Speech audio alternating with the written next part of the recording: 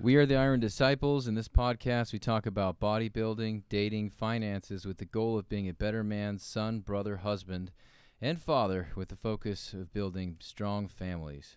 Exploring these topics from a biblical standpoint, how to do these things as Christian men. Hello. Hello. Hey, guys. What's going on, guys? Any anything different? Well, it probably doesn't look that much different since it's all dark and bl- it's a black background. But New we're in a new studio. studio. Minus the Yeah. Mesa Boogies and the Marshalls and all the badass ah. metal guitar stuff. I kind of miss that, to be honest. But at the same time, We got Look. more, we got so much more room for activities. yeah, I, c- I can fly like an airplane up here. You know? Well, they Just can't like- really see it, but Oh my God, this is great, guys. It's like a movie theater. Yeah, this I is like crazy. it. It's got good vibes. this has been a project we've been working on for a couple weeks now, and Yeah. yeah. we'll be able to have more guests on. And Yeah. it's it was tight when we do four of us. Yeah. at the whole place. Yeah, uh, my, our house, and now we're at Mike's house. So this is the patio that we you or patio back room, Florida room or floor whatever room. they call it. Yeah, we have AC, but it's It's warm in it's here. warm in here right now. yeah, Even with these blackout curtains, which we were expecting to kind of do a little bit of work for us, apparently. oh, they do work. Yeah, well, I mean, it, we would probably be dead in here if they weren't on. So it's just amazing. Florida. Welcome to Florida. You're Yeah. gonna be really. It's welcome to summer in Florida.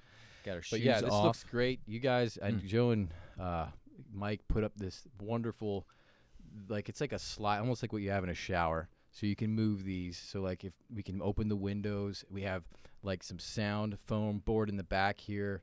Um, it looks really nice, and it's more space. And obviously, we don't have to interfere with Joe's studio life anymore.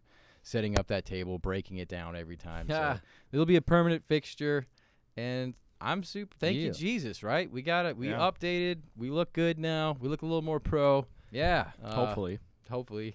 feel like Let us know. yeah. Play Right. ping pong up here. yeah. Scrabble. We could do some uh, Bikram. Isn't that like hot yoga? Oh yeah. Yeah, we're right on that. We're like, almost yeah, there. guys. Yeah. Open these windows up. Put some mirrors on that side. Just really bring it in. I've thought about Good. turning. I thought about turning half this room into like a sauna because I remember that would yeah, be great. I was thinking that was my, that would be we my should other have project. like yeah. The By the way, I- podcast in the sauna, bro. That'd be hilarious. Get out the truth. This just kind of Joe Rogan would be a massive supporter of I that. think Yeah. it's a great. got idea. I don't know how it's a the 20 minute podcast. Yeah. Yeah, I don't know how like the uh we could do it, but it would have to be with like one of the smaller like uh, recorders, and we'd have to probably put it in like some some a cooler or something. Yeah, definitely. But uh, it's possible, Yeah. possible, guys. I think we should do it too. yeah, I'm I took down. um, I took, I took my little heat gun. It's like takes it's a probe. I use it for cooking all the time for grilling. Infrared. Infrared. yeah. And I took this thing to the to the gym today when I was inside of the sauna, and I was because you know how's that little wooden thermometer up there. Yeah. And Fake We've always known that thing's Mike fake talks news. about fake Yeah. news. fake news. But I just wanted to know how fake the news was. Extremely. So I brought it in there, and it was 140 degrees. And I looked up at that little plaque. That little the thing is like looks like it came out of some, you know, Said 180. I bet. 200 degrees. And so I did our Lies little and trick, and I put the deceit. thing on there. And in like 10 minutes, it got up to about 170, 175. About 15 minutes, just clear up to 180. and you're sweating your balls off. Oh, it's then it's on.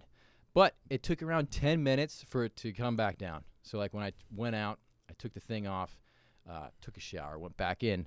It was about 160. So well, that's a tiny. just so little you guys know, I did a little bit of data research on our awesome. little My suspicions were and correct. they are correct. 100%. Place is worse. I'm a sauna bad. connoisseur. I know what I know when they're hot. yeah, I'm not a fan of infrared saunas. Like I Oh, need no, just no, no. pure, real coils. I don't know what the point of. I those need to feel real heat. I don't want to be microwave. I don't want to radiate my bones. I yeah. Want to heat up my whole body. You know. Yeah.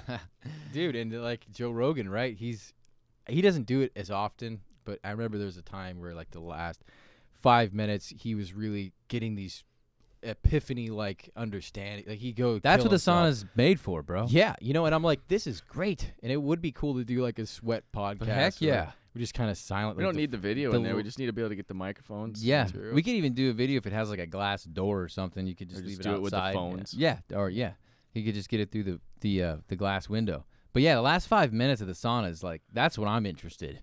that's what I'm You know, for a while- death, yeah, I wanna see that one, yeah. off the charts. dude. you know what we let's- didn't have excited sauna? for that. we would do baths and uh Mm-hmm. really hot bath too Just hot get a hot tub. They were not good. They were kind of probably uh, Lobster boiling. productive. Yeah. Yeah.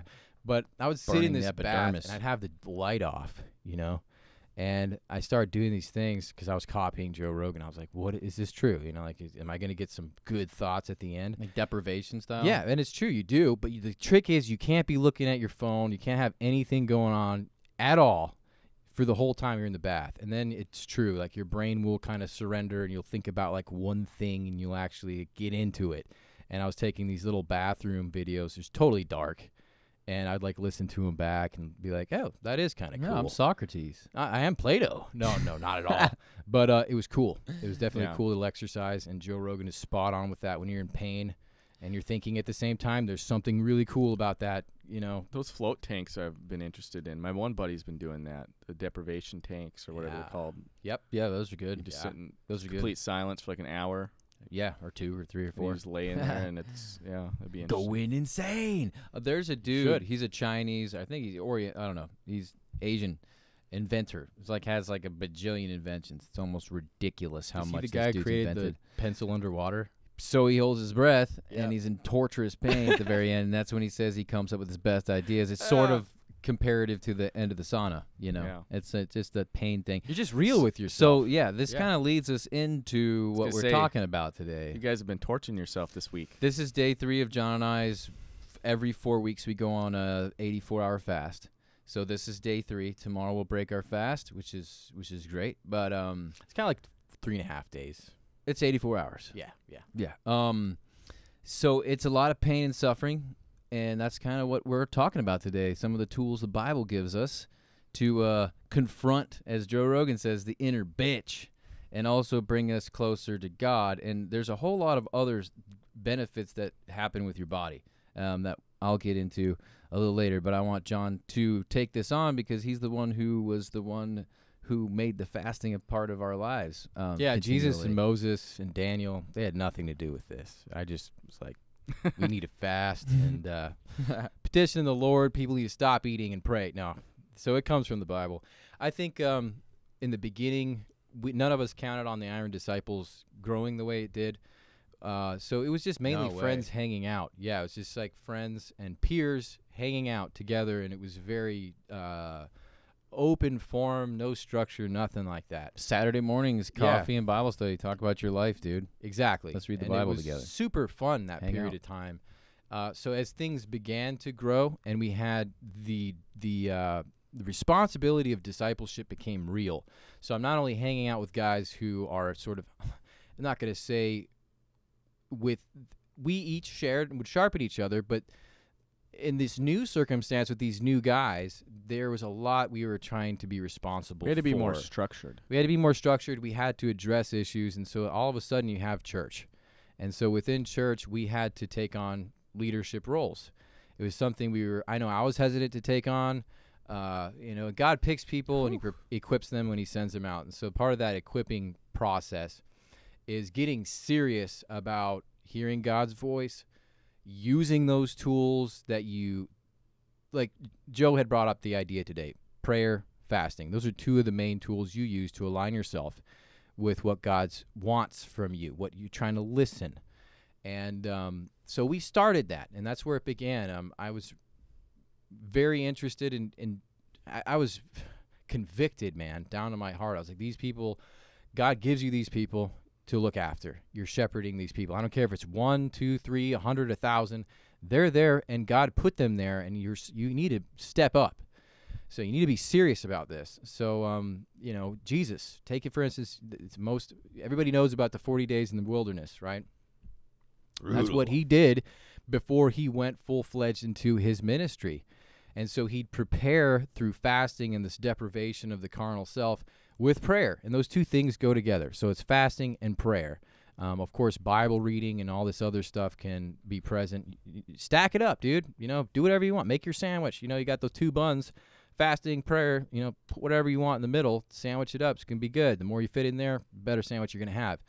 So I was looking at uh, Stop Jesus. talking about sandwiches, dude. I know I'm fasting, so yeah, th- that'll happen. You wake up in the middle of the night dreaming about like food. Like, okay, yeah, it's, it's no no breaks here. But uh, Purple oysters. that was a good dream. Not per, they were like uh, anyway. Don't want to confuse the audience.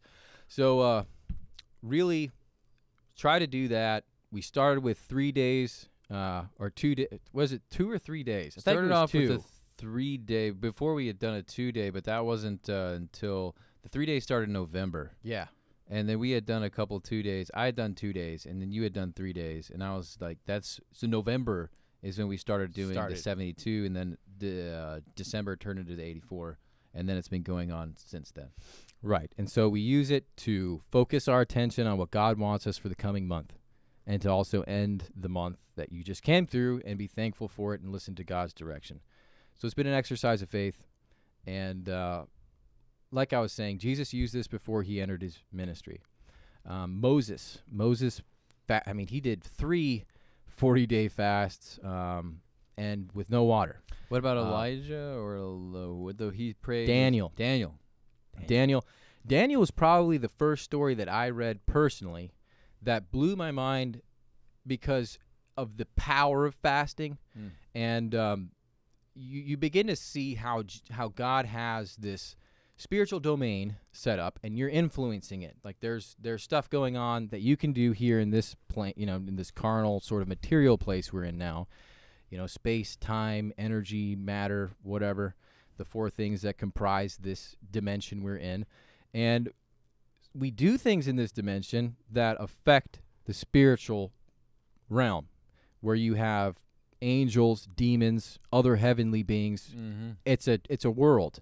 It's a real world. And I was always fascinated. Spiritual warfare, spiritual world, fasting. Yes. So by that, I'll I'll pull up this little story about Daniel. Um, it's not a story. It's not fiction. It's absolute truth.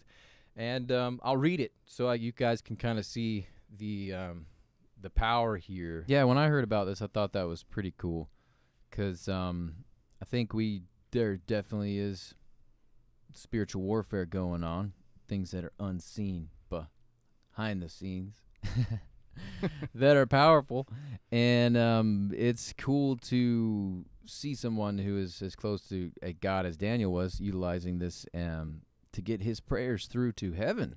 That's right. Yeah. So I'll do a little quick read through. You guys, hang on. If you got your Bibles with you or your phone, uh, it's Daniel chapter 10. Okay.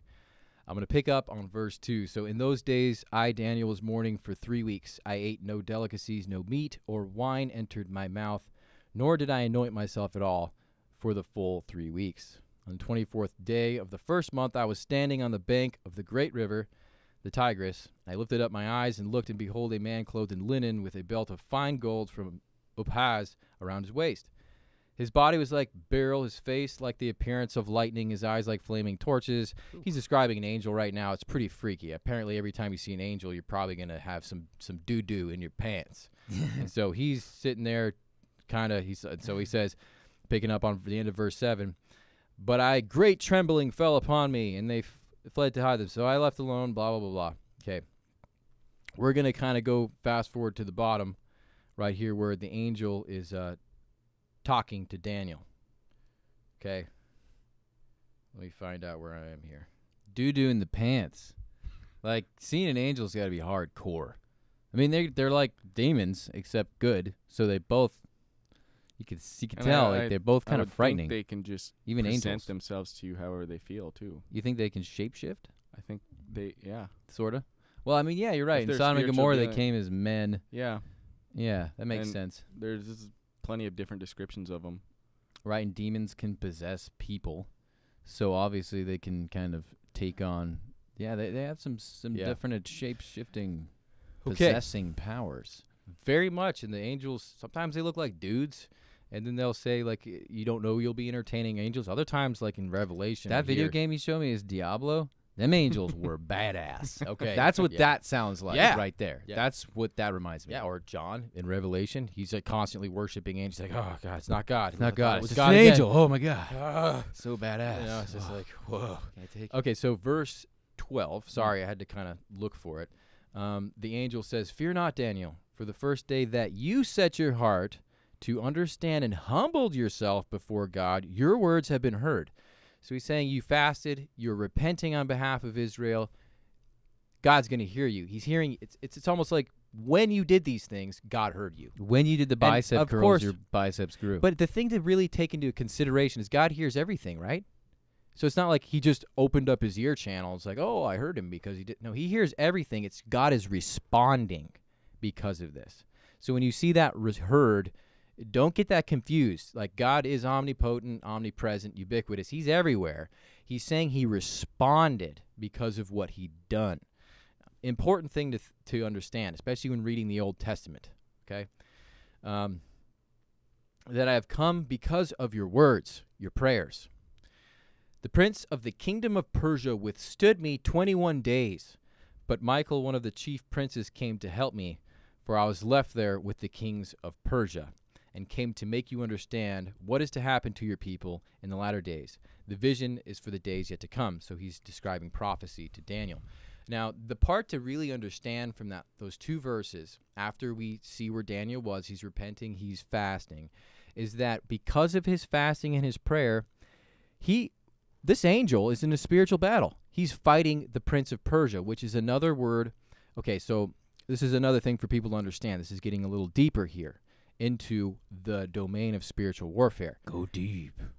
This is Satan's world, right? He has domain over it. He's not like God where he has, you know, ubiquitous omnipresence. He doesn't. So he's relying on these fallen angels, uh, these heavenly beings that are on his side to govern and to to take on the responsibilities of these different land masses. And you'll see that clearly. You have Molech, um, one of the old gods. You have even Odin, right? A lot of these people will know about Odin because he's big in the Vikings. These are real demons with real power. And they've been given president's control over a certain portion of land. So the Prince of Persia, very high ranking, like they had a uh, Beelzebub, right? You have and that was a, that was actually a Babylonian god that they started to use as a, a another name as uh, a synonym for Satan. Same thing with Prince of Persia. So this angel is fighting to get through on behalf, and because of Daniel's fasting and his prayer, he helped that angel to do the work that he had to do. That blew my mind. I, I read that and I was like, wow. You know, and it's easy to skip over these things, but if you really settle on what's what the the conditions that are being talked about, prayer, fasting, spiritual battles, you know, the fact that these spirit these angels have to deal with demonic forces same way we do, well, in a different way, but they're still contending with them, um, and the fact that we can help. Um, yeah, so that reminds me. uh, you, when you're fasting, you're subduing your flesh. Must mean that your spirit's coming up in power. So for your prayers will probably be more powerful. They obviously are. Yep. Um, one thing I was thinking about. This is kind of a weird thought, but if God's in, you know, omnipresent, why does He need angels? It's kind of weird thought, but just one I was thinking about. You know, why didn't He do all the work Himself? I understand for Satan, but for God, I don't know. It's interesting. Well, I think he's trying to sharpen and grow his family. So, like, um, angels are a different form of, of his family. And so, uh, take for instance Right, us. We're yeah. discipling, like I'm, we're discipling the guys in our group, right? God is using us to accomplish those tasks. Um, whereas he's doing the same. Why would he need a family, right? Like God's infinite, he's beyond. Loneliness, man. Not just loneliness. Family's better. Um, I don't think God's necessary, and that's a that's a very deep question. Why does God want a family? Well, He's the source of love, you know. So I think um, the idea of autonomous, uh, sovereign beings, are, he he wants more of that. You know, He wants true relationship, true love, all that stuff. But so, does God know exactly what's going to happen every single passing moment? Of course. But those angels are are sort of they're operating. Could God snap His fingers and have this whole story just coalesce into one second? Yeah, but he has it this way for a reason. So, um, And I yeah, thi- it's, it's I just think he thought. uses that stuff Mm. as faith builders too. Like it's not like Daniel was needed fasting to accomplish that, but God used Daniel in that to accomplish that, exactly. and then that builds Daniel's faith. And so it's an exercise for Daniel Right. to grow Right. rather than what was actually actually accomplished, because Mhm. God could accomplish that anyway. Exactly. And then it also gives us the the the template of of humble service, right? To humble ourselves, um, to reinforce the fact that there's a carnal battle. Sacrifice, Right. There's so um, much discipline. packed into that. giving up Yeah. your pleasures for more power, essentially. exactly. Yeah, because that's what it is. It's power. It's Yeah. power. So what has been? So you've been doing this fasting routine now how many months? Since November. November, like And what what have you gotten out of it?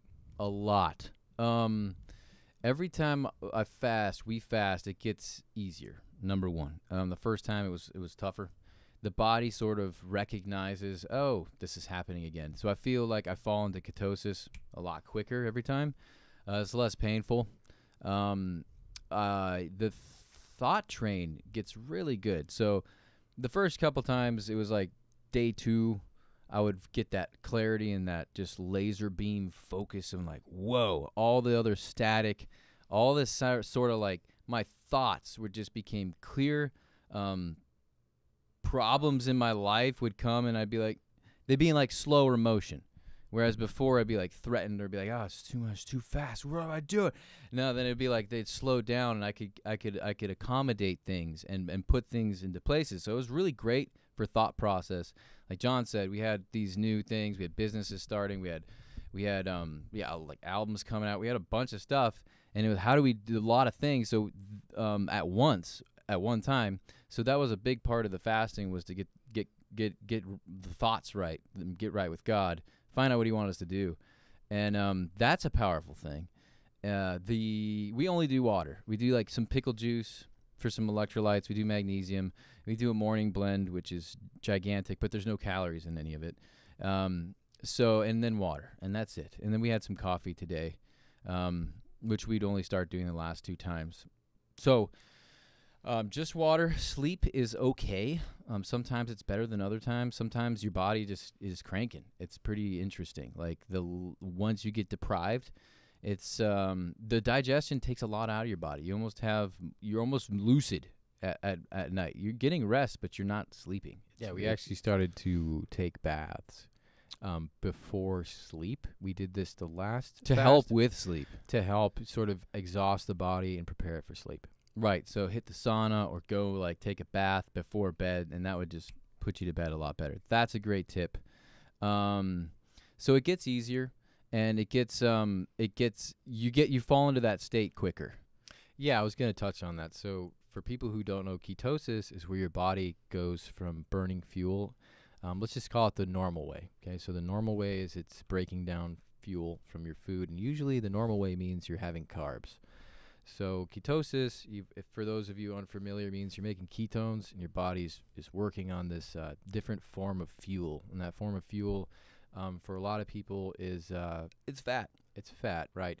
But for a lot of people, it's more. Um, they feel more productive. They feel more clear. There's no insulin spikes. There's a lot of these different stuff that will happen. Like insulin spikes are serious. Like usually when you eat a bowl of pasta or a bunch of donuts or something like that, you want to sleep, and that's because your insulin, your endocrine system, is responding to that excess of, of sugar and carbs, and it's like you know it's it's a massive shift that's going on in your body.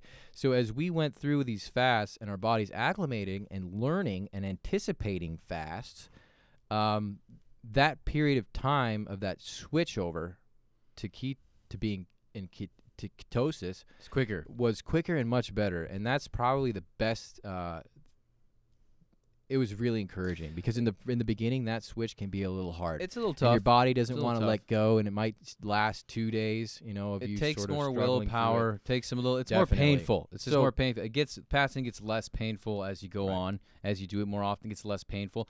Kind of is uh I don't know. It, that's a double-edged sword. You know, it's kind of good, but kind of the part about fasting is being suffering, putting Mhm. yourself in pain. Um, that's a big part of of like fasting, and um, being a bodybuilder. For you guys who are bodybuilding and want to fast, um, I haven't lost any gains at all. Um, every time I come out of a fast, I'm stronger. Um, my, my, my endurance goes up. Everything goes up. My recovery goes up. Um, injuries, nagging pains, stuff like that usually go away. Now, the first couple times we fasted, everything was inflamed and hurt way worse. Like my lower back was effed in the A. Like my everything was like inflamed. It was like an angry body. But now it's getting a lot easier and a lot better. Um, so there's a couple parts within fasting that occur that um, that talk about cell regenesis. So there's autophagy. Autophagy is like the regenesis within uh, parts of the cells. It's basically autophagy. It's eating oneself. Um, that's the Greek terminology of it. Um, so cells will do this, and when you're in a deficit, it's regenerative. It's regenerative. Um, when you're in a um, a surplus, you're building stuff. It's abundance. It's gross. It's, it's expenditures, and your body can kind of go through this thing where it's just building, building, building, and you have like trash hanging out in your body, and it's like we don't. It doesn't pay attention to it. It's too focused on building other stuff. So when you go into a deficit, it's longevity. It's preservation based. It's how can we preserve what we have. So all your cells are going, okay, this is this protein is folded messed up and um, we're going to eat this little protein since it's not useful to us anymore. So your whole body starts doing this. It starts going for all these misfolded proteins inside the cell, and it starts to to consume those, turn them into sugars, and that's a lot of what you get out of your energy. So it's a double-edged sword. You're getting your energy out of it, you're getting rid of misfolded proteins, and you're starting to align. These cells are becoming basically taking your, your little cars, if you imagine them being cars, to the body shop. They're all getting revamped, new oil in there, you know, turn turn it around. So that happens for different people. Once you hit ketosis, it could happen within like 12 hours. It could happen within 14. If you're really fat and you have a ton of glycogen stores in your liver and you're like, you know, one of those people, and it could take you 24 to 48 hours. Depending on how much glycogen you have, John and I eat pretty lean all the time, so we don't have a fatty liver. So we hit ketosis relatively quickly, and we continue doing cardio and stuff like that during our fast. We do not train. That does not happen. Um, that's not a point of our fast. It's on a deload week that we take after. So this whole week is about fasting and deloading and the next week we will start to train again. So, autophagy, the recycling, the eating of one's cells, the eating of one's self, little misfolded proteins. After autophagy comes in, there's apoptosis, which occurs, which is the recycling of entire cells. That's when an entire cell gets recycled and taken taken back. And we get new stem cells, new uh, immune cells. It goes down for some of those like those cells that are less regenerative. And what's really cool is they found out that your brain your neurons actually get regenerated. Actually, apoptosis occurs because they thought How it was cool your That's neurons were spared because your your brain is spared from like everything. It's your freaking brain. So your body's like, let's protect this. It's the last resort. So they didn't think that apoptosis was occurring within your neurons, but they it actually is. So um, they took mice and they went through and they they measured the proteins and we, when you do go in, and this has to do with the clarity of the mind that we're talking about as well. Because like ketosis, yes, it definitely will help you clear energy source. It's cleaner, it's less spiky, no insulin spikes. However, you also have these neurons that are regenerating as well. So over time, you're going to you, your neurons get they regenerated. So if you're going through like a brutal time, like we were, like business and the album and the Iron Disciples and all this stuff, and our brains are kind of like shutting down, like too much cannot compute, dying. When you're going through something like when you're going through a, a deep fast, two to three days, you're going to have that regenerous that regeneration of your neurons. So it's going to help you become smarter. It's going to help your brain be more efficient, which I thought was really cool because we're all talking autophagy and apoptosis. They known for your other organs, like your organs, your liver especially, it gets worked out and it gets it's super good. I mean, if you have problems with drinking or if you're any type of thing, we have any kind of fatty liver, non-alcoholic fatty liver, whatever it is, super good thing to do for your for your liver. Um, but it, we know that this this occurs and now it occurs in our brain. Super cool benefits that it, that are absolutely absolutely God put into action with being in a state of deficit.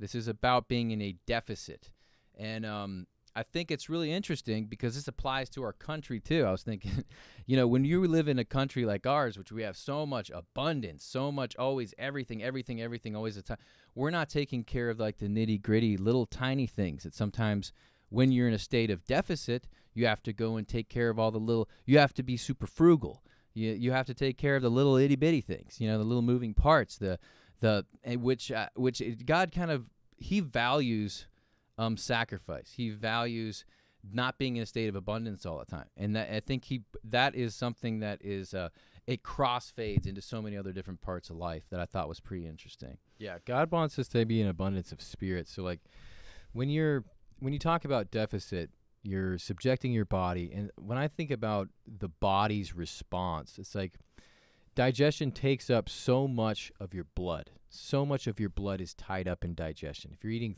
five three or five meals a day, that blood's going to be in your gut. So when you stop eating, all of a sudden, like Joe had talked about his lower back inflaming.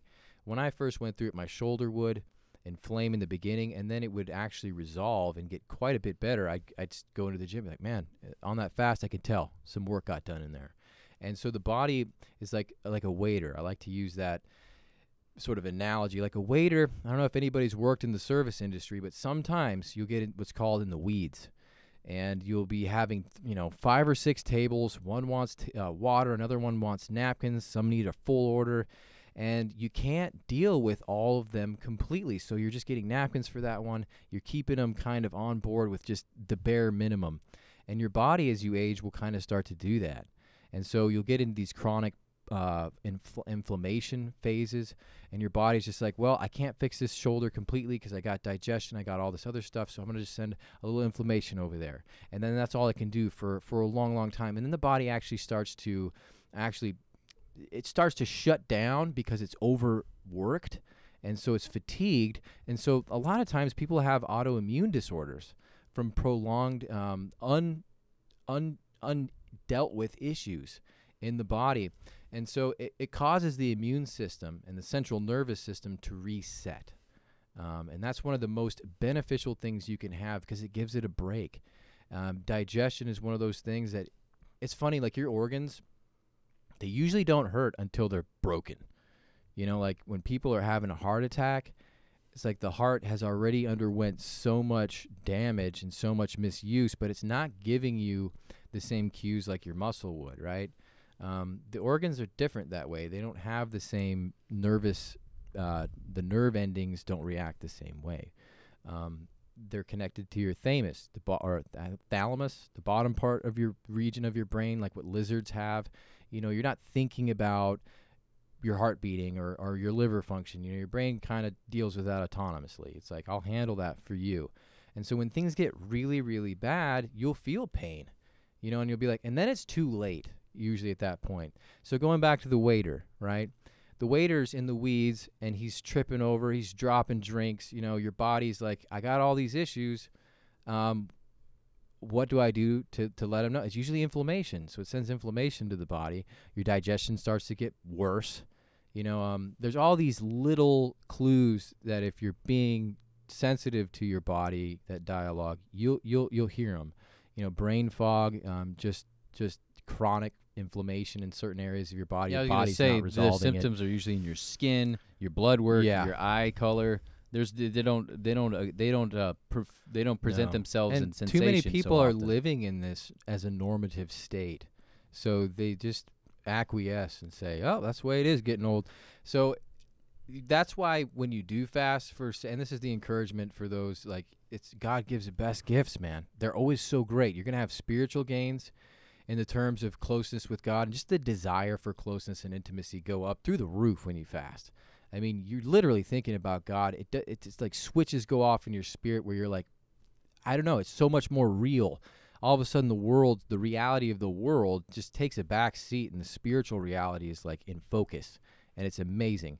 But then your body also has that wonderful regenerative phase, like Joe talked about, a, top po a top pof, a top apoptosis, Apoptosis. auto. Uh, what's the other one? autophagy. autophagy.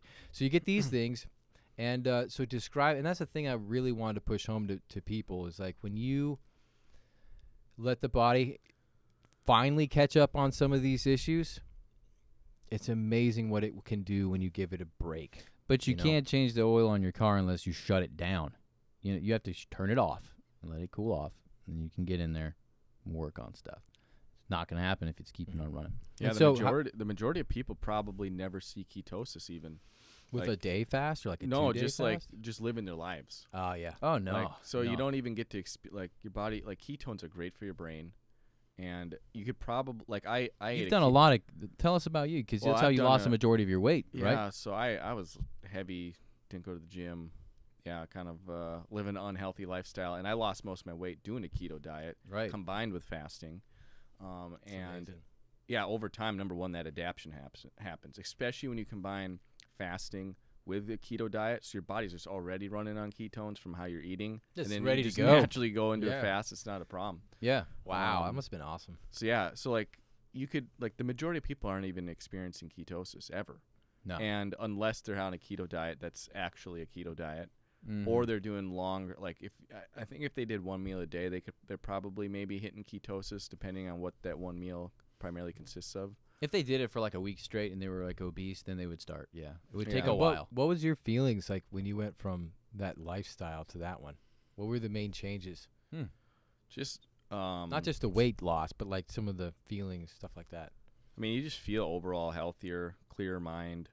Um, I wouldn't say that, like it's been so long. It's not. It's not like I have like drastic memories in my head of these before and after feelings. So I can't exactly describe it. But Well, did you um, do any fasting, or was it just ketosis, like a diet thing? Did you do no, any I, intermittent I would fasting do, or anything? I would do a, intermittent fasting. I did every day. I almost did like a one meal a day diet. So what was your window, your feeding window?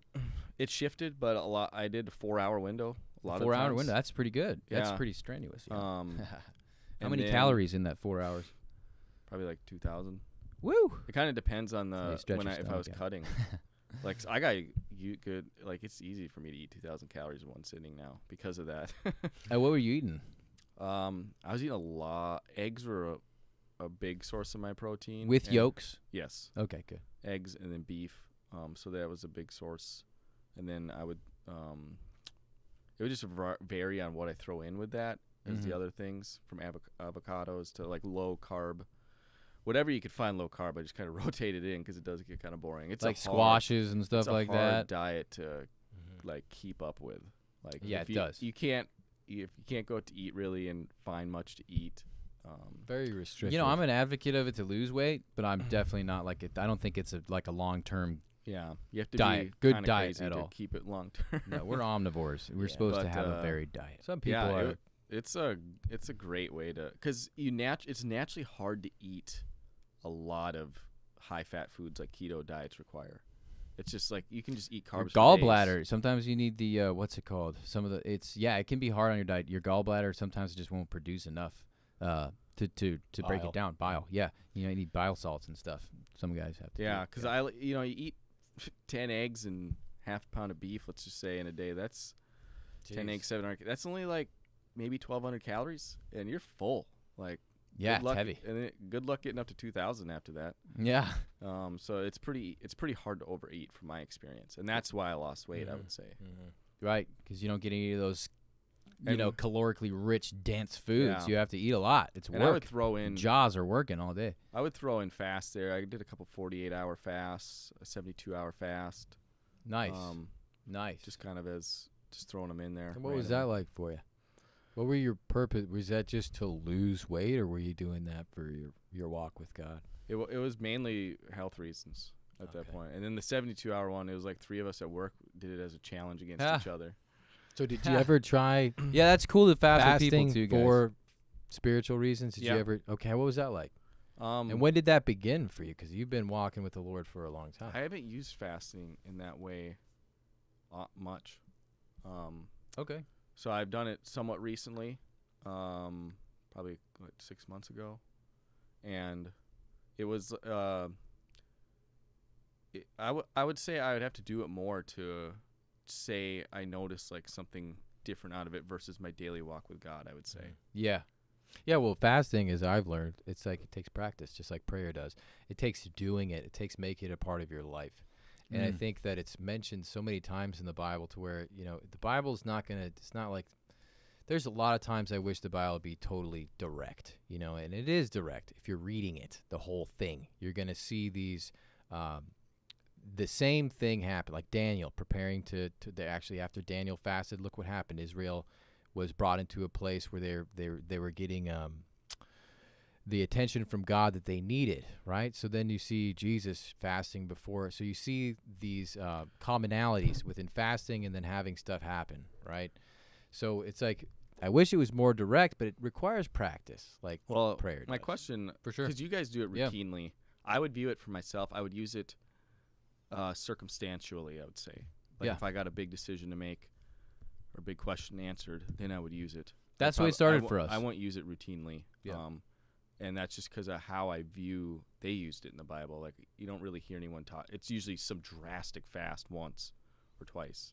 Moses did it what three times? Mhm. Yeah. So that's just kind of my view on it. Depends on how many drastic things you got going on in your life. You know, how are you going to judge that? So for Yeah. me, like with a very new, like with the Iron Disciples, it was like I, I know nothing about this, so I'm not. I don't have. You know, it took me a while to find a mentor to be subjected to sub subject to. Like the whole thing was brand new and came out of left field.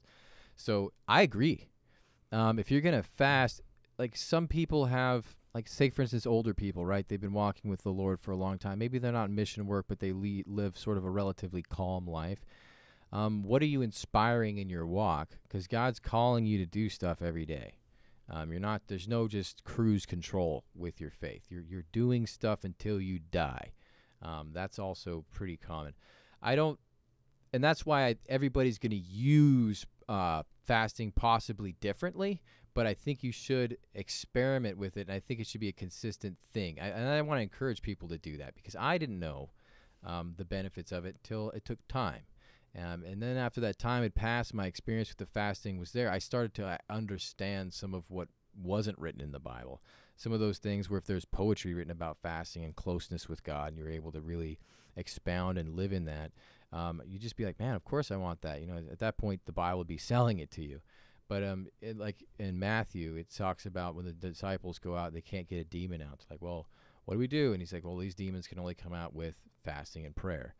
So uh, if you want a close walk, you know, what I think about is like, okay, if they're using this for important situations to get something done, it's obviously a very, very powerful tool. So why not use it as much as you can? I mean, it's, it can fit in with your routine, right? Um, so I think that that's the way I look at it. It's obviously not a mandate. I don't think you're, you know, if you don't fast your whole life and you have a great prayer life and do a lot of other things, I don't think God's like, well, you know, you, you didn't do the fasting, so not making it into heaven or something like that. I don't think it's like that. But uh, if you're if you're if you're eager to get close to God, it's a wonderful tool. I totally agree. And um, there's a couple different types of fasting.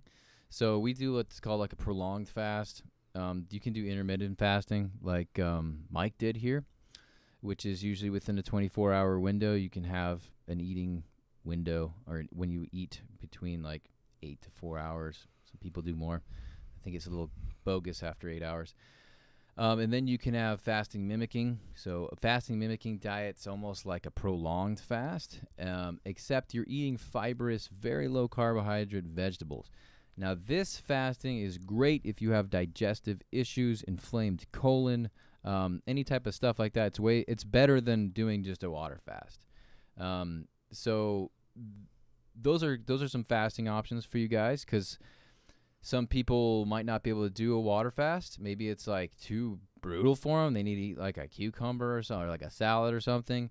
And maybe they do have some gastrointestinal issues where like their colon's inflamed. Um, that has been proven to help a lot with it, more than just a water fast. Um, intermittent fasting, you can utilize that every day, like Mike did. Um, you can do that year round if you want to. when we did to. our 72 hour fast, we did we did drink bone broth during Hmm. it. Did you? Probably like 50 calories of it a day. Okay. See, I'm not a fan of turning on the gas. I don't even like. I brush my teeth before, and I keep my teeth clean, but I don't even use toothpaste or artificial sweeteners or anything to to, to get my insulin up. Because some insulin, some some artificial, many of them, just the saliva in your mouth, the taste of something sweet, even though it's not. It's, it's Yeah, it'll trigger everything. it'll trigger your uh, to some degree. your your yeah, you'll, your digestive tract will turn on. Even smelling food, like Julie was cooking last night, amazing food. Oh yeah. And I was like, "Yep, there it goes." You know, that's all it takes. um, so, and that's that's okay too. Like I used to cook dinner for the family when I was on a Yeah, fast. yeah. You know, we worked on the studio yesterday. We, we try to stay busy and have a normal life. Yeah, I do take. That's a big point. You want to um, serve when you're fasting. You want to serve. You want to lay in bed That's how you get the benefits Yeah. of it, especially Yeah. when you get better at fasting. Uh, maybe the first couple times you might be like need the rest, um, but once you get better at it, it's cool. You, you'll get you'll be able to, to live more and to to act more. And, and for people who are active. interested in like the spiritual uh, self control, um, the carnal self control, fasting in the Bible is always food. Sometimes they would uh, not drink rich stuff; they'd only eat vegetables. It's funny you bring that up because Mm. sometimes they would just do that. Um, but you can fast from different stuff. You Yeah, know, you if can. you like for me, I fast off of social, Social media. media. when I'm on my fast. I, I take a break from all that. Um, I try my best to think of things that are taking my attention and my desire and what you become dependent on. Dopamine, pretty know, much. I like, mean, a yeah. lot of the time, you what you're dependent on, um, you're gonna you're gonna you're gonna hold it closest to your heart. You know, you're gonna you're not gonna want to surrender that. So even like playing guitar or, or something like that, it could be anything, and you really have to do some introspective searching to see what that is. Because what you're doing is you're sh- showing God, you know, like this is not idolatry, right? Like I'm surrendering this, whatever it is. If I'm putting, you know, four or five hours into my guitar and um, writing music and stuff, even though that's a form of worship and that's a ministry, you know, it's still saying that that is not taking your place, Lord. Even food is not taking your place. Um, so do that introspective work. For everybody, it's different. You know, some people it's TV. You know, other people it might even be the gym. You know, or, or some kind of dependent thing where your character is so wrapped up in it that when you take a day or two away from it, you really feel like, who am I, right? And then God can step in and be that who are you part for you. You start to identify in Christ. And that transition point is what the benefit of fasting is. It reaffirms to you that Christ is your is your is your root the you are a temple for Christ and it really pushes pushes that reality back into your life. And in being a man eh, or a woman in this world in the West, you have so much you can do with your spare time. Um, so you're either gonna think about these things and be, and it's gonna take time to be honest, you know, and say like, "Wh- what do I really hold close? it you know, what's definitely tells you competing for. God's attention. Um, so you'll have that experience, and it's a tough little thing to go through. Um, like for me, I don't really like social media. I don't really post that much, but I I'm on it a lot. You know, and I look at my phone at the end of the week, and I'm always surprised. I'm like, man, I'm not posting when I'm looking at You're stuff, consumer. guitar videos. I'm a consumer, right? So, um, getting honest with that time spent is is something that you know you you'll be surprised. Um, I so think that's one thing fasting is great for is um, being able to say no, because you're you're getting hungry. You're constantly going up. Not allowed to do that. We're not eating. I'm not even gonna look at food. You know, or um, you you you build this willpower and discipline over your f- your carnal body, That's why I liked it the most. which is fantastic. challenge. Because after you're done doing it, you have your your brain will start presenting the same things, whether it's social media or whether it's like what your all these weak points in your life. All of a sudden, you can take them on a lot better. You're just like, yep, that's a no, and no, and you know, you're able to just kind of bulldog ahead a lot better. Um, it, it fortifies your will, it fortifies your discipline, it makes you a more um, powerful human being. I Every time you're saying no, you're actually saying yes. That's to right. Something else. And so when you're saying no and you're training your mind on something, like I was talking to you guys and Shannon, uh, was it Shannon? I had this thing where I was trying to put my mind on a thought. You know, like Oh, yeah. take a word. one word. That was one word. on the last podcast. Okay. Yeah. That's Yeah. where we're talking about it. And I trained my mind on, you know, what does it mean to be a disciple or uh, what does um, some of the words like discipline, um, truth, being honest with oneself, um, little things, could be a word or a phrase, and train my mind on it and not allow it to to divert It's you like a know, or run away. It's absolutely a form of meditation. Yeah. But um, when you're saying no, like Joe had said, you're saying no. You're saying no to other thoughts. You're saying no to that static, to that interference. Um, yeah, because it starts off with dopamine. Like f- you need to feed your body. Your body makes you feel good for eating. It's obviously going to give you all kinds of reward and serotonin. and It makes you feel good. Um, then you can kind of build this towards other things in your life, which are which are going to give you dopamine. And then most of the time, it starts off with like that type of the distractions, which are most of the time dopaminergic responses that we are like you know rat in the wheel, you know, coded to respond to. That I just feel like it's. ADD. You know, Well, like I, ADD I is can't tell you how many times like the thought train for something I want to think about is just difficult to inspire. It's not easy to think on something. So when you're when you train your mind on something, you have a discipline to say yes to the thoughts you want and no to the static.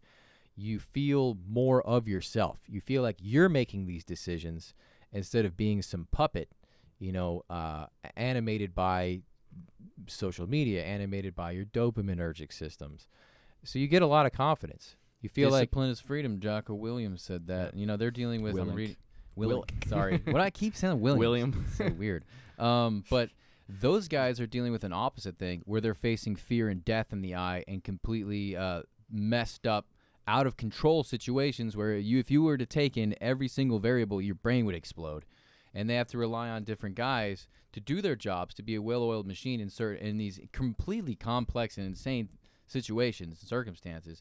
So they're having to say no to like their critical instincts of like get the hell out of here, like the like the Iraqi soldiers are. They're like running away with their AK, Just shooting like back. shooting back, like Yeah. just freaked out. So yeah, discipline is so important, you know, and taking on our fears, our dopamine receptors, our our hungers, our mm-hmm. pains, mm-hmm. you know, any of these strong influences that are just like they take over the brain stem, you know, they go right Yeah. down to the hypothalamus, and you're like, oh, you know, we that is an exercise. So fasting is an exercise Yeah. for those things and to build that spiritual, and it just makes you into a more powerful man. Your body's gonna adapt to it too, and that's what I noticed. It's fun. That's the nice part. yeah, even like doing the interfif- intermittent uh, intermittent fasting life, it became easy. And at first, you know, it's a tough thing. And now, like, I haven't done it in years, and that's mainly because, like, I would prefer that. Even now, I could easily go back to that lifestyle, but I'm trying to gain weight. Yeah, you're trying so, to pack uh, on like, I'm just trying to eat as much as possible, and so I have to eat more times during the day. different um, goals for right now. Yeah, and Yeah. so Yeah. I, but Mhm. the time, like the time I did fast somewhat recently, it wasn't even hard, really. Good, and, and, that's uh, Body your- just clicks right in. Yeah, it just clicks right into it. muscle yeah, system memory. yeah. Um, another cool thing about fasting um, is that within autophagy and apoptosis, so cancer, cancer is a proliferation of cells that is unbound. It's just like this. This is this mass growing, and um, autophagy when you when you go into these deficits, in fact, it's known to to work against to, your cells are actually can take a look at themselves and go, is there cancer in here? Oh, there, yeah, there is. So let's let's get rid of this. Um, so cancer is a big one. A lot of like heart disease, um, plaque in your arteries. Um, uh, uh, this- I- what else, man? The list is gigantic. Yeah, I was going to bring that up. what so goes on one with of your the body. things I wanted to touch because you asked me personally uh, about fasting. Uh, besides the spiritual thing, uh, which is why I do it, but uh, our mother's South American. She's Colombian, and she has exercised her whole life. She was a, a ballerina, you know, so she's done that. She's always eaten very well. She cooks all of her food in her home. You have to twist her arm if you're going to get her into a fast food restaurant. She's hilarious because she really has this discipline with regard to her food and her walking. You can't take that away from her. And um, while she does have some vice, she loves her bread. She loves like some sweet things. You know, 90% of what she does is, is usually really good. And she was a few years back, this is about three years ago now, she had um, some angina. And that's for no for people who don't know that's um, where the the heart is not getting enough blood. So she'd be walking and she'd get very fatigued and she'd have to stop. And the doctors would per- perform the normal tests on her heart and ask her the questions, blood tests, this kind of stuff. And she would check out fine. She kept on complaining of this and it kept on persisting, getting worse. My dad's like, this is not good. So she went and got some more tests in her heart, looking at the arteries and seeing how clogged they were. Um, these are tests you have to ask your doctor. And if anybody's South American or knows they have a heart, test, right? no, that's different. That's for your heart. There's- That's the number one test for your heart. There's two different arteries you can the get one to checked. go for. That that actually is helpful when you get older. But if you're if you have a proclivity to storing cholesterol into your into your veins, it's not going to show very much. Yes, it will. You- I've looked it up. I talked to my cardiologist the other week. She said no, it will not. It's not going to show in the arteries. It's plaque. There's different kinds. Plaque is hard. For It's us, calcium. we're not going to have plaque. We're going to have just buildup of fat, and it's not going to show up on that. It's very different. Well, the way that the It's a works, different no, material, the way a that it different thing. works is the calcium. so your artery gets inflamed, and your artery has lesions that occur in it. Yes. Okay. So then, what your your body does is it puts in calcium, which is hard, like a stint your body creates for itself. And Okay, it so let me describe the process that my cardiologist described to me. This I told her this same thing, and she's like, "Yours came out fine, but that does not mean the way you get plaque is the ha- the fat gets hooked on to the Okay. the uh, the calcium, which is hard. That's how that's how you get plaque buildup. Plaque doesn't just build up on smooth arteries. plaque does not does not build only- up on smooth arteries. not you the can eat a bunch of fat and have in non-inflamed arteries, and that fat crews right through. Yeah, well, that's not the only way it is. I talked to her about it. I asked her. She's like, frequently people will have perfect calcium stores, but they will still have buildup inside their arteries. So there's two tests. I we can maybe put it in the in the uh, description that you should get. This is the test my mother got because uh, uh, the plaque test is cheap. It's like 50 bucks. These other ones, they're actually going in and looking at the arteries. That's what my mom had happen. So they went in and they looked at the arteries and they found out she had some severe blockages. They had to go and put in stents. And so I'm here, you know, 30 years old, listening to this and very concerned for my mom. I'm terrified. You know, my mom's the last person on earth I expected to have heart problems. I was shocked. Joe and I were sitting there going, What is going on here? This woman's eating good. She's exercising. She's following all the rules, and she's sitting here dealing with. I wouldn't say so, but you no, her diet's not no. It's not perfect, but when you consider other people's diets of her Super age, high carbohydrates. are, she's not, not super high. She has like a couple pieces of toast in the morning. Most people do. So when you consider the fact that her diet's not exorbitantly horrible and she exercises all the time, then yeah, it's actually pretty good. I look at what mom eats. So yeah, it's not perfect. But the point that I'm making here is that it, it brought up a very important question for us, and that was what do we do to counteract this issue? And so I started thinking deeply about the her- the hereditary issue that that is present because it's a hereditary thing. Her body, what her body does, which she gave me and my body and Joe and I's body, um, is a proclivity to store fat in the arteries. Okay, so I started thinking about this a lot. I started doing research on different uh, people groups of the world and and why there is a higher degree of South Americans, um, mainly tropical climate people, who have high blood pressure and have high cholesterol. This is very common. When you go to the northern hemispheres, people who are living in northern climates, that is not as as as serious of an issue for them. And so I started to think about this. None of this is substantiated. These are just my inf- reflections on the issue. Okay, so this is not scientifically based. It's just thoughts. But um, I started looking at the the points of um, of of scarcity for these people groups as they've sort of evolved and been alive on the planet. So the the tropical cultures, their scarcity was usually during the rainy seas- season. Um, it was it's two to three months, sometimes less, um, and they wouldn't eat as much. They would have a, as rich of a diet for those that period of time. So the other portion of the year, their body would be storing fat, getting ready for this scarcity season. And the light bulb went off. I said, "Well, they're in a hot place. They don't need to store fat on the outside of their body the way somebody would if they were living, you know, in Norway or somewhere else where it's cold." So the body's smart. It's going to say, I don't need fat for the winter. It's going to be a longer period of time. I'm going to store it in the the fat on the round. It's going to serve two purposes. It's going to be food storage as well as insulation. Okay? So for the South Americans, tropical climate, they don't need insulation. It's hot. So their body's going to go to where it's most quickly stored and, and most quickly absorbed, the arteries. No, it'll go on organs, but not in your arteries. It's going to be stored. Yeah, it's going to be Arteries are smooth. You're talking about- machines. you yeah. can pump as fat through them. You can do. When when you get a cloggage or buildup, it's because there is cal- There's a lesion in your artery. Think about your pipes getting rusted. That's otherwise if the the you have free flowing. That's the way they're made. What causes They those don't. You don't. Con, you don't hold fat within arteries What for causes reason. those lesions? Inflammation. okay, why is that inflammation being present? Oh, it could happen for a number. of Maybe you're eating too many vegetable oils. You know, that's a big one in today's. Too many processed sugars. All both of those things, which are high in our diets nowadays. A lot of people eat a, a ton of vegetable oils, rapeseed oils, um, lots of processed sugars. Um, those will inflame your arteries in an instant.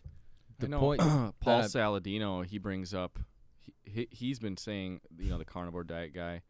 So he thinks cholesterol has nothing to do with it. It's the inflama- inflamed arteries and then high cholesterol running through them. Yeah, it gets gets clogged stuck up. Because So like, it's not necessarily cholesterol's fault in and of itself. It's because most of the time someone with high cholesterol also has inflammation going on. Yeah, and like I was saying, like so the lesion happens in your artery, and then what your body does is it, it tries to fortify it with its own stint that's made out of calcium because it's the hardest thing it can figure out. Now that calcium is what holds on to the fat. That's what accumulates the fat, and that's how you get that.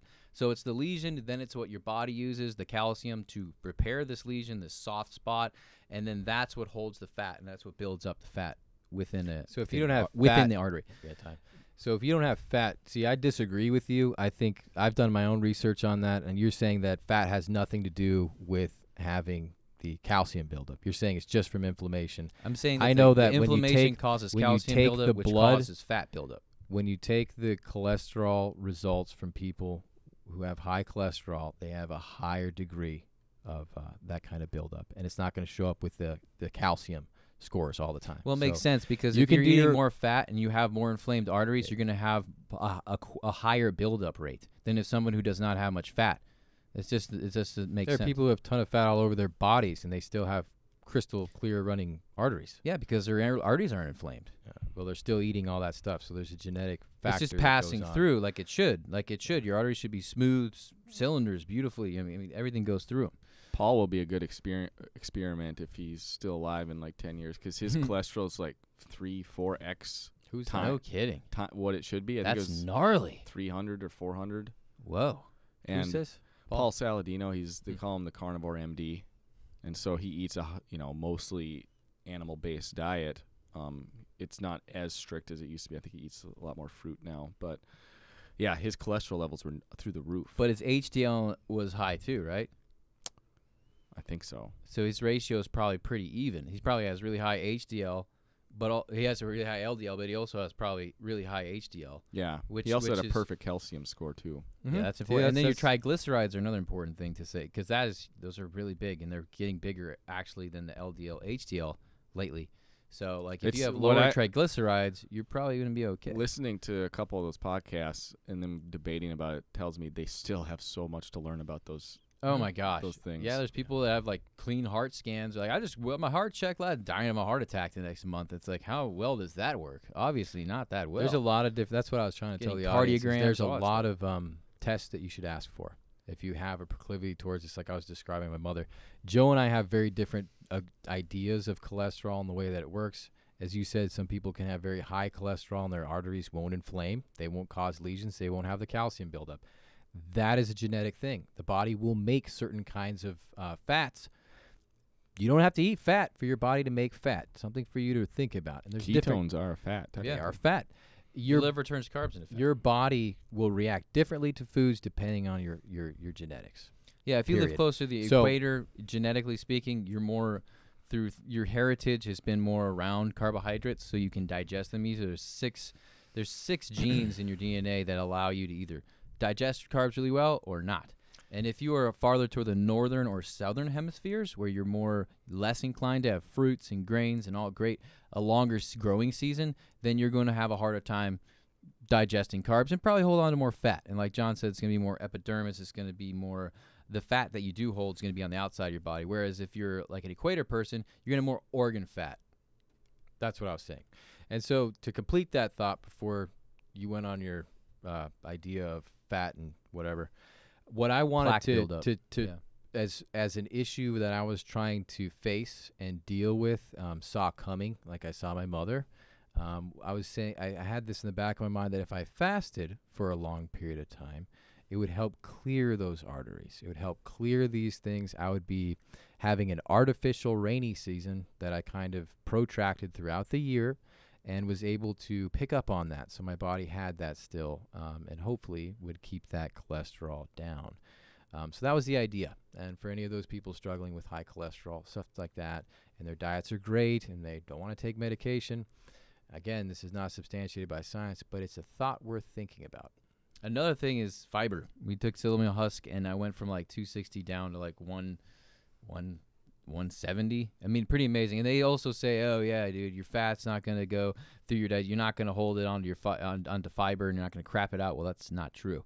I can guarantee you guys, um, it's a nice quick fix. Took me about a month to do it, and I just ate, supplemented it with every meal, especially high fat meals, and then 25 to 30 grams.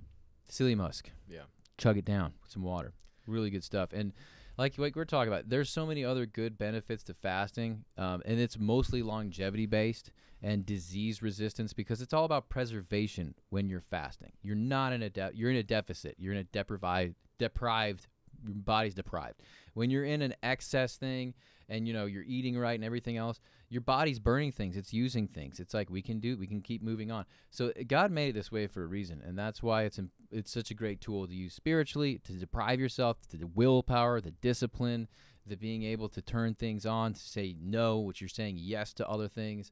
Um, it's super powerful and great for your body and your spirit. Experiment with it, have Yeah. fun with it, and um, and one thing we didn't touch on was prayer. I just, how much time do we have? Because I wanted to say a couple words about prayer. You have a few minutes. Yeah. Okay. Um, the Bible nowadays, a really popular word that's thrown around um, now in the secular culture is meditation. People are like you need time to meditate. Find some uh, quiet place and you know allow yourself to unwind. Um, Sam Harris has uh, an app. I think it's called Calm. That's his uh, app. It's one of them. It's it works like Calm. Yeah, Um, it's, very it's similar. not calm, but Is it, it? No, it- it's similar to it. Um, they have voice speaking to you in a very calm way, and then you sort of are able to focus your mind. Very useful, and the world, uh, people everywhere experience extraordinarily good results from this stuff. And uh, the Bible doesn't use the word meditation, but it's present, and that's prayer. So prayer isn't always asking God for stuff you want. It's not always uh, petitioning or pleading. Those things are part of prayer, and you should definitely use them. However, meditation is a good word to think about as a sister word to what prayer can to, can be like and how it can enhance your life. Mm-hmm. Being silent with the Lord, you know, a- appreciating simple things with the Lord like peace, and going to a place like that's nice, sitting by a lake maybe, um, and appreciating God's creation. You see David do that in his Psalms all the time. Um, lamenting. Um, they're all different forms of meditation, and prayer is what the Bible sort of uses to describe that. And so, for people who are, because I see a lot of this New Age culture come and, and they're like, well, none of this is in the Bible. It's like, well, they're just using different words to describe it. And so prayer is something that if you if your prayer life seems repetitive or redundant, you know, um, allow God to work in that and maybe explore some more meditative types of prayer to to feed your heart and soul. When I'm fasting, I'll have some silence in the morning, and um, you know I'll be praising God in my own way in this reverence, and this will sort of begin to vibrate. And it is it is a very wonderful place to be. You're not asking for anything. You're not doing. It's just like peaceful thanksgiving, gracious gratitude, and um, that's something you can have. That's something the Bible talks about a lot. Um, so I did want to bring that up um, uh, to talk about that uh, as meditation. You know, the diff- prayer is such a there's so much that you can do when you pray. It's talking about communion with God, and uh, how many time how many different ways can we hang out? We can go to the gym, we can eat, we can talk, we can enjoy silence together. Um, God is definitely an incredible. He's, he's the most incredible being. So how yeah, if you're just viewing prayer as a way to ask for things or petition things, or that's very short. like there's yeah so much more to it. exactly Totally. Yeah, and um, another thing is is when you're fasting, you have to um confront your demons, and prayer is a part of that. And I think we John and I talk about self talk. So um, you're oftentimes feeling like crap, but you're like, I feel amazing. You know, I'm grateful. Thank you, Jesus. You know, you have this spirit of thankfulness in in the in these troubled times, and that is one of the, I think one of the most amazing types of prayer because um, it fortifies your spirit in line with God's. Because he likes, he, he's all about sacrifice. I mean, Christ died. I mean, he put himself in. The whole story is just showing what the most powerful being in the world does for the things he loves. So, um, I think it helps with self talk a lot, and um, maybe not being. It's it's funny because like you don't feel great, but you're like, I feel great. I love this. I feel like a million bucks, and then you start to believe it, and it starts to make life easier. Yeah, the Really does. Bible talks about the power of the word. Yeah. God created everything through a word. So if you're, we talk being positive in your self talk, being honest with yourself, not allowing that um, deception or like uh, Jordan Peterson talks about willful blindness when you're afraid of something or to witness or to realize something about yourself that may be really hard. Um, so have that positive self talk, and it's not uh, toxic optimism. Really, what you're doing is you're confronting uh, the fact that you might not that you have to claim victory because we have to claim victories through words. You know, I am a new creation. You know, I have died on the cross with Christ. These things you proclaim and declare and claim, and through the power of that word, you begin to live it. The power of the word cannot be understated. You know, people use words to bring ideas into the world, and those ideas bring material things into the world, and from there you have a changed world.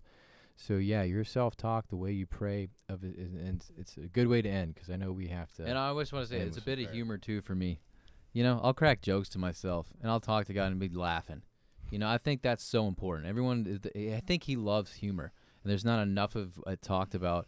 And sort of like my relationship with God, it's like yeah, I know He laughs at like a bunch of the stuff I do because I know He's not. He know He loves me.